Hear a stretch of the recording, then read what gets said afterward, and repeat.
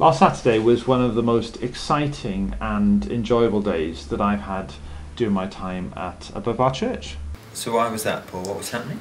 Well, it was the it was the training event for our missional community leaders. Mm-hmm. They are our uh, neighbourhood uh, missional communities, those in where people live, and also their their network ones, those that they're the areas that they're passionate about or that they're at their that stage of life. It was great to hear what's been going on, what God has been doing, how uh, people have been changed, how some people have become Christians, um, hear about um, yeah how how, th- how things have been developing. How, how did you find the day?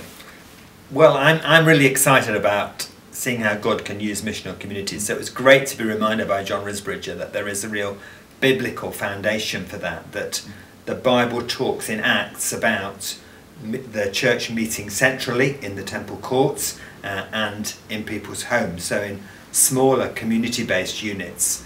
And uh, I have a real conviction that God can use these smaller missional community units to extend his kingdom because that's where people can really develop relationships together and can have an impact uh, on the communities that they're part of. Mm. I think it's great to see that missional communities is not just something which is great for our culture at the moment because people are in such different places, but also that is a biblical principle. But there was something that, that struck me as well on Saturday that, that some people are really struggling in life, mm. they're really busy and really tired, and, and, and some difficulties are happening in their lives. But also, there was a kind of yearning, a passion a unity in, in all the missional community leaders that we want to see God move. We want to see more people saved. We want to see more lives changed. If people are watching this film and they think, oh, I'd love to, to help or encourage a missional community leader, what? How could they do that?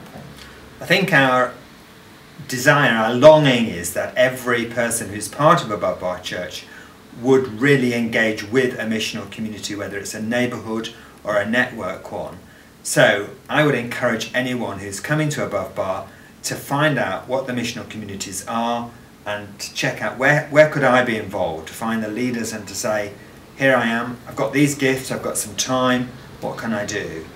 Prayer is always going to be a key ingredient of seeing God work through our missional communities. So we can all pray and we need to.